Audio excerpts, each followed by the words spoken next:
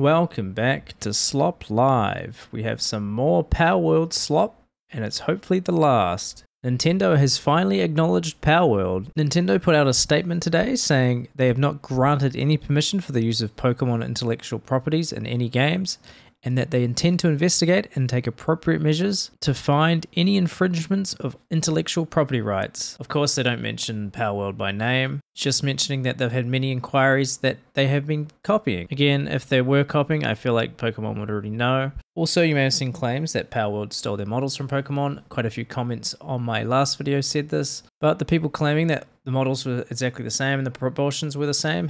Actually scaled down the models to fit and conveniently left this information out until later. But yeah, that's all the Palworld slop. Please don't make me do another one of these. Thanks for slopping by.